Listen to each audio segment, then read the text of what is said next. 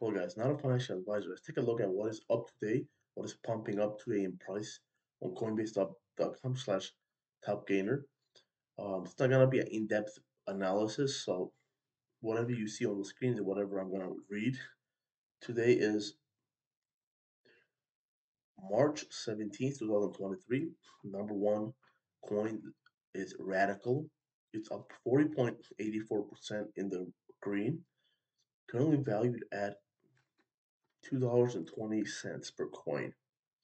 Let's see what happened, right?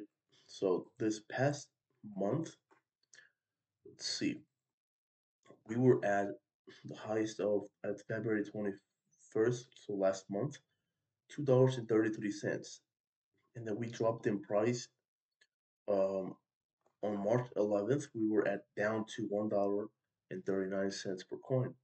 And then from there, we started going back up it seems we are climbing higher than the last time, the, uh, the highest number of last month. So let's see how much we are up. In one month, we are up 20 cents or 9.70% in the green. One week, we are up 77 cents or 53.13% in the green. So we last week we were at low of $1.39. Then we climbed all the way up to currently the highest of $2.31.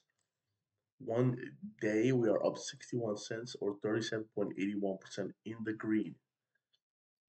So we are recovering in price and then even growing in price. Uh, one hour we are down 4 cents. Market stats market cap is at 109.9 million.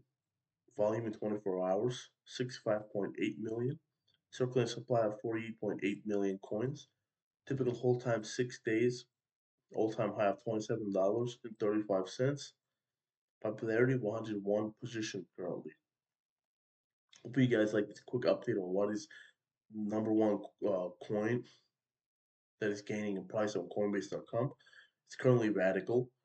Uh, other coins are also up, but they're not that much compared to Radicle today. So stay tuned for more quick uh, crypto updates videos like this on this channel subscribe. Have an awesome day, guys.